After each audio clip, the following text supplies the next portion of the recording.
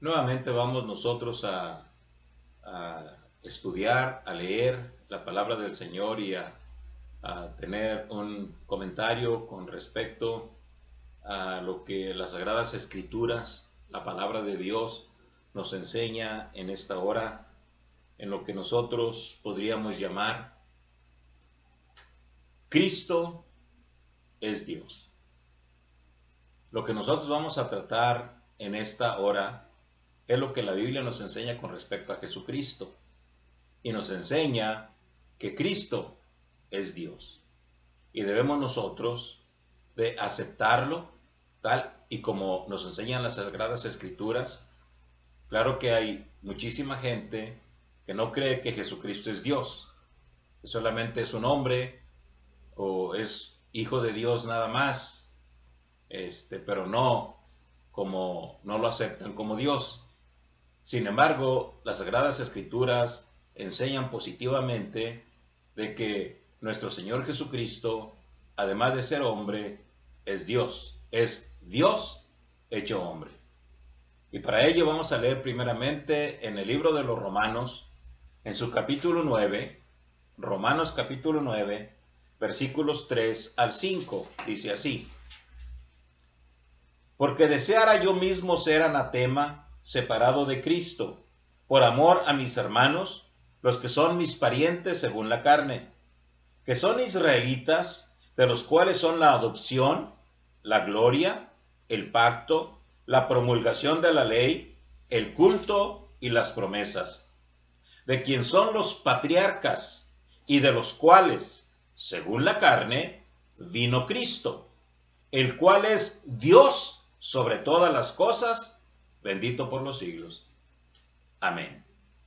He ahí lo que el apóstol Pablo nos está enseñando en el libro de los Romanos, donde nos dice exactamente que Cristo vino, según la carne, a través del pueblo, del pueblo judío y que definitivamente en ese sentido son privilegiados por el hecho de que en esa raza llegó nuestro Señor, pero es Dios, por lo tanto, es Dios para todos los hombres. Ahora bien, sin embargo, Él se manifestó en carne y dice aquí, dice aquí, según la carne, vino Cristo, el cual es Dios sobre todas las cosas, bendito por los siglos. Amén. Por los siglos. Eso significa entonces que la palabra del Señor en este sentido es clara es clara y fundamental. Pero no solamente el apóstol Pablo.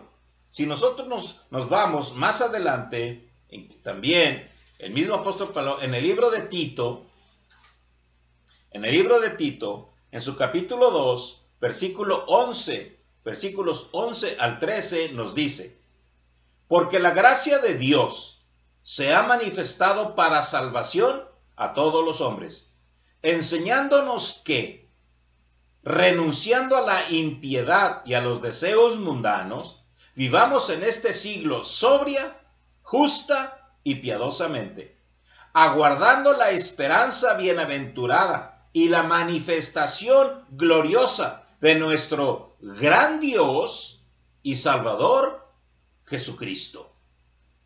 Es decir, nosotros debemos de ser ejemplo en nuestro comportamiento porque para nosotros no hay excusa en el sentido de que hemos recibido la salvación, aquellos que creemos en nuestro Señor Jesucristo, hemos recibido la salvación. Por lo tanto, no hay excusa para comportarnos y ser de acuerdo a nuestro Salvador, para que aguardemos la esperanza bienaventurada y la manifestación gloriosa de nuestro gran Dios y Salvador Jesucristo. Y afirma el apóstol Pablo en el versículo 15, esto habla y exhorta y reprende con toda autoridad, nadie te menosprecie. He aquí entonces cómo el apóstol Pablo nos exhorta a que no solamente nosotros lo creamos, sino que con autoridad exhortemos y hablemos y reprendamos en relación con esto, para que la gente pueda entender y comprender que en realidad nuestro Señor Jesucristo es Dios. Ahora bien, pero no solamente el apóstol Pablo, el apóstol Juan, en primera de Juan, capítulo 5 y versículos 19 y 20, nos dice y nos habla acerca de estas cosas, acerca de lo que venimos nosotros diciendo. Versículo 19 del capítulo 5 dice, sabemos que somos de Dios y el mundo entero está bajo el maligno, pero sabemos que el Hijo de Dios ha venido y nos ha dado entendimiento para conocer al que es verdadero. Y estamos en el verdadero, en su Hijo Jesucristo. Este es el verdadero Dios y la vida eterna. Este es el verdadero Dios y la vida eterna. Es decir, todos aquellos que hemos tomado una decisión por Jesucristo, una decisión por Dios, no solamente creemos en Él, sino que el mundo entero está bajo el maligno. Todos los demás que no confían en Cristo, que no rinden su vida al Señor, están bajo la autoridad de Satanás. Pero cuando nosotros nos decidimos por Jesucristo y creemos exactamente lo que la palabra del Señor nos enseña con respecto a nuestro Señor Jesús, en ese sentido nosotros dejamos de estar bajo la autoridad de Satanás y estamos ahora bajo la autoridad de nuestro Señor Jesucristo. Ahora bien, pero no solamente estos apóstoles, también el apóstol Pedro, hablando de estas cosas, nos enseña allá en segunda de Pedro, en la carta segunda, un poquito atrás en la en lo que estábamos nosotros viendo en estos momentos. En el capítulo 1 de Segunda de Pedro y versículo 1 nos dice así. Fíjense bien. Simón Pedro, siervo y apóstol de Jesucristo, a los que habéis alcanzado por la justicia de nuestro Dios y Salvador Jesucristo, una fe igualmente preciosa que la nuestra. ¿Se dan cuenta? Es decir, para todos aquellos que han alcanzado la justicia de nuestro Dios y Salvador Jesucristo. Una fe igualmente preciosa que la nuestra. Ahora bien, una de las cosas que nosotros vemos y que tristemente la gente, mucha, mucha gente no acepta el hecho de que Jesucristo es Dios, es el hecho de que aparentemente y según ellos hemos de examinarlo, analizarlo y ver que en realidad, conforme a la lógica humana, Jesús no es Dios. Pero la Biblia nos enseña, fíjense bien, que Dios es infinito, infinito. Su conocimiento es infinito y no podemos igualarlo a la mente humana. Por eso dice el apóstol Pedro, una fe igualmente preciosa que la nuestra se acepta por la fe. La fe atestigua lo que las sagradas escrituras nos enseñan creemos por la fe que Jesucristo es Dios manifestado en carne. Ahora bien, esto definitivamente es inalcanzable para la mente humana. Por eso nos dice el apóstol Pablo en Primera de Timoteo, Primera de Timoteo, capítulo 3, Primera de Timoteo, capítulo 3 y versículo 16 nos dice de la siguiente manera. Fíjense bien. Primera de Timoteo, capítulo 3 y versículo 16. E indiscutiblemente grande es el misterio de la piedad. Dios fue manifestado en carne, justificado en el Espíritu, visto de los ángeles, predicado a los gentiles, creído en el mundo, recibido arriba en gloria.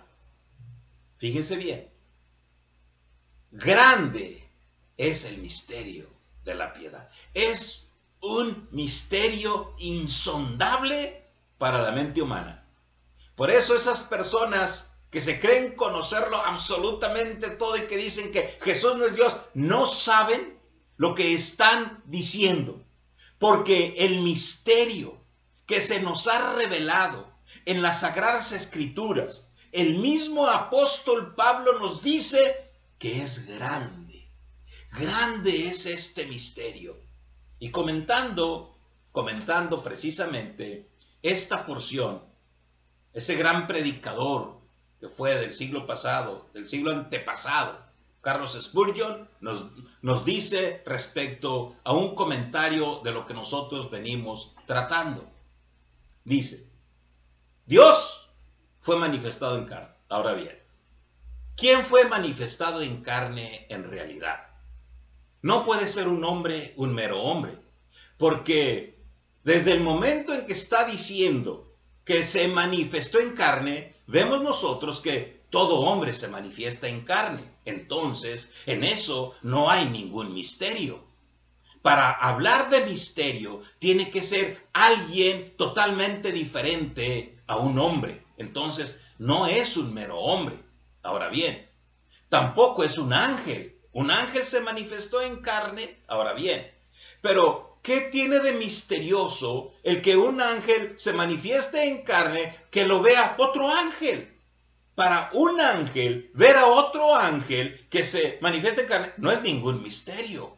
No hay ningún misterio, porque un ángel que ve a otro ángel, pues definitivamente nada tiene que ver con el asunto. Ahora bien, un demonio un demonio se manifestó en carne, ahora bien, pero si fue un demonio, nos dice que fue recibido arriba en gloria. Y si fue recibido arriba en gloria, entonces definitivamente no tiene nada que ver con el demonio. Ahora bien, dice que es un gran misterio. Definitivamente tiene que ser Dios. Porque si no fue Dios, entonces no tiene sentido decir que es un gran misterio. Entonces es un contrasentido el hecho de que diga precisamente respecto a que Dios se manifestó en carne o lo que haya sido que se manifestó en carne. Tiene que ser, tiene que ser algo, alguien totalmente, totalmente misterioso para que se haya manifestado en carne y que lo hayan visto los ángeles, para que los ángeles hayan sorprendido de verlo manifestarse en carne, tuvo que hacer Dios. Ahora, fue recibido arriba en gloria. ¿Qué ángel o qué hombre o cosas de esa naturaleza se sienta a la diestra de Dios? Nadie. Eso significa entonces que Cristo es Dios, bendito por los siglos, a quien sea la honra y la gloria por todos los siglos. Amén. Que Dios los bendiga.